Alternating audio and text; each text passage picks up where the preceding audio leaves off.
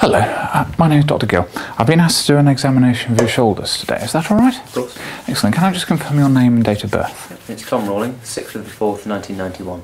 Thank you. And before we start, do you actually have any pain in any uh, in your shoulders at all at the minute? No. Excellent. Okay, if I can get you to stand up, please. And what I'm going to do first, I'm going to have a look at your shoulders, if that's okay. So if I could get you to take your shirt off, please. Okay, so what I'm going to do, I'm just going to have a look around your shoulders, looking for any problems that may or may not be there.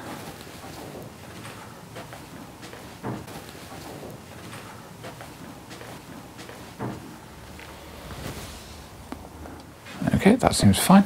Now, if I could get you to step over here and just press your hands against a wall, pushing forwards for me, please. Sure. Okay, so having a look at your scapula at the back, that's all normal. You can come back for me. Okay, so I'm now just going to actually touch around across your shoulders, if that's okay. Mm-hmm. So please tell me if there's any areas of pain or tenderness. Okay. Okay. And just along the side there, and across the back.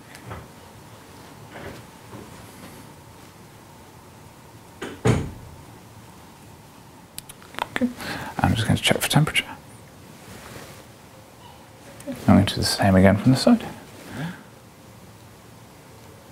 Any areas of pain or tenderness there? Not at all. Okay.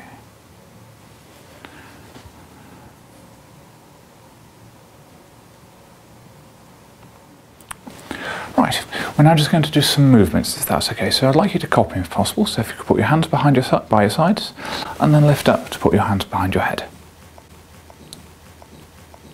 Okay, thank you. And relax your hands back by your sides. Okay, uh, what I'd like to do is push your arms all the way forwards for me. Brilliant. And then back as far as you can go. Thank you. Okay, if you could put your hands by your sides, and then with both arms going up together, okay, and as high as you can go.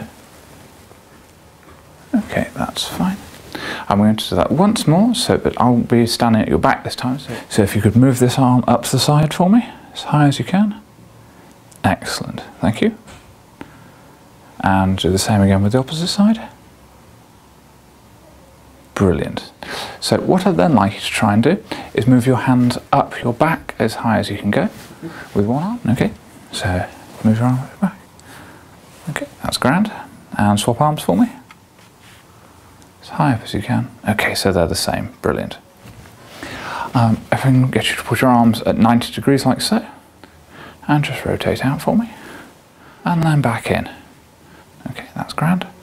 And if you relax your hands at the side, and then if I can get you to touch one, your right arm to your left shoulder, and relax, and similarly, and then going round the back. Okay, thank you. And the same with the opposite side. Okay, that's grand. And, and relax there. So we're going to do the same movements now, but I'm going to get you to try and resist some of my uh, some of the movements.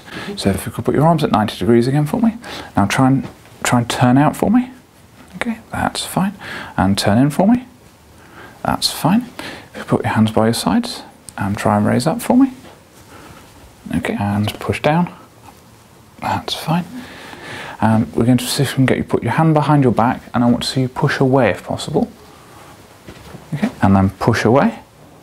That's fine. And change arms, and then push away again. Okay, that looks fine. Thank you.